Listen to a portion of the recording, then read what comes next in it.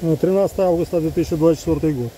Значит, спрашивает женщина меня в комментариях, почему я военный, рассуждаю о Курске, о последствиях захвата части Курской области вооруженными силами Украины.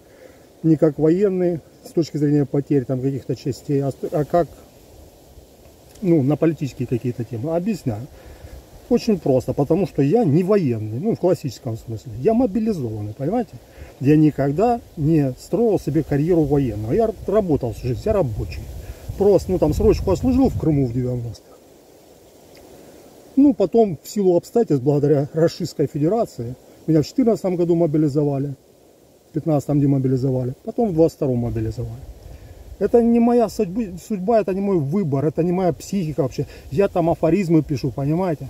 Я там, я не знаю, что-то на фортепиано, на гитаре играю. Я звезды снимаю, планеты. Сегодня, кстати, сегодня, кстати, сближение Юпитера с Марсом. Посмотрите, редкое явление.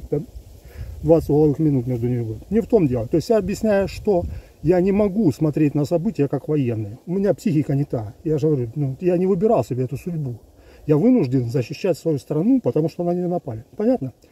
Поэтому я смотрю и вижу основное.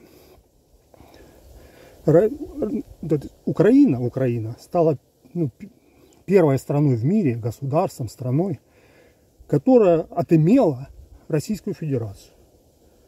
Это важно, правда, важно, понимаете?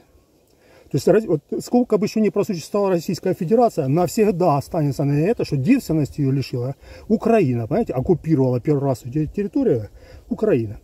И, конечно, вы можете сказать, что то же самое сделала и Россия с Украиной. Но понимаете разницу? То есть Украина, ну, в мире 200 стран.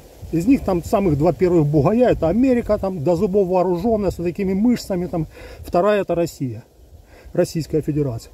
Без всех вторая армия мира это не шутки, да? То есть никакой Китай, там у него нет военного опыта, никто не сравнится, никакие Франции. То есть атомное оружие, все, все есть у Российской Федерации. А самое большое, самое большое государство мира. Серийный насильник, который уже оккупировал там, захватывал территории и в Грузии, понимаете, и Армении там помогал держать руки Азербайджану там и там самым здоровенный бугай, насильник, серийный. И никто уже не удивляется, что такой серийный бугай, блин, может изнасиловать, там, не знаю, напасть там на какой-то... Вы же не удивитесь, если, блин, там какой-то здоровенный амбал 40-летний, 110-килограммовый, как я, блин. Понимаете, там 18-летнюю девочку какую-то заломает. Да? То есть это нормально, ну, как бы по физическим параметрам, это первый раз, и это останется навсегда, понимаете? Что Российскую Федерацию отымела Украина. Мы, украинцы, отымели. Те, кого, ну, вы представляете себе, что здоровенный какой-то амбалера такой, блин, навалился, блин, своим пузелом, блин, нафиг, как я не знаю, Рогозин там, блин, на девчонку 18-летнюю. А она взяла его и отжарила. Публично, на глазах у всех. Лишил это, вот это, его там дефлорацию произвела не в самое лучшее место, не в самом лучшем месте. И это уже навсегда. Понимаете?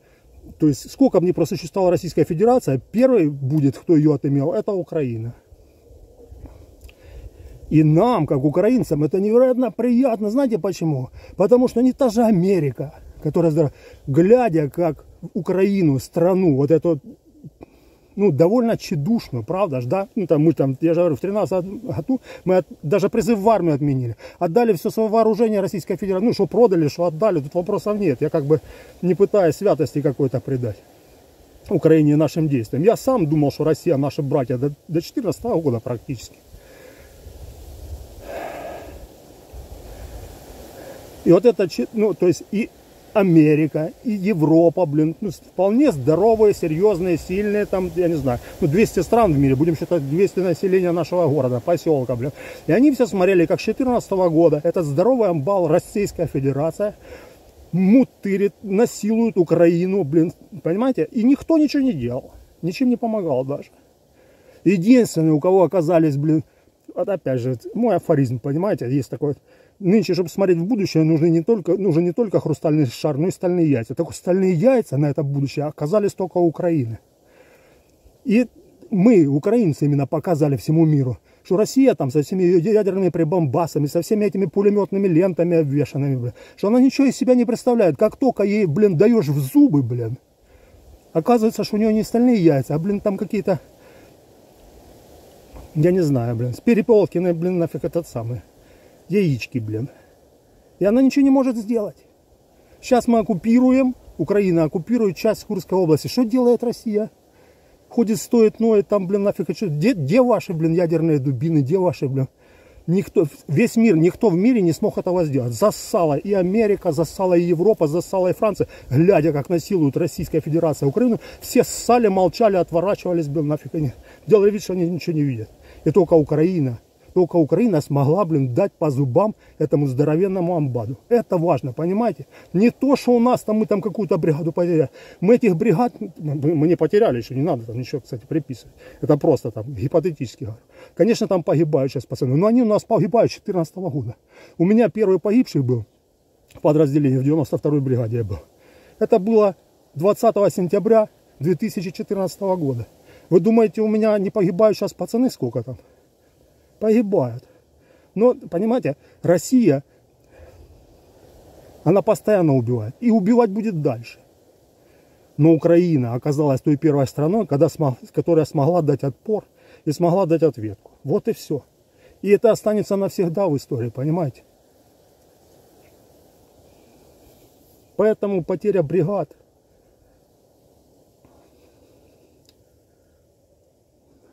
нам не хотелось, блин, лишать Россию девственности, понимаете?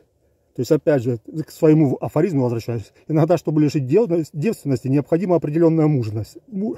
Необходимо определенное мужество. Так вот, это мужество оказалось только у Украины. И это важно, это правда важно. Это публично произошло на глазах всего мира. Так что, а вы мне про то, что потери. Потери у нас уже десятки, сотни тысяч. И весь мир стоял и молчал. Пока мы не взяли и не отрезали яйца этой Российской Федерации, не показали, что ее ядерная дубина, это, блин, какая-то ПР, блин, нафиг.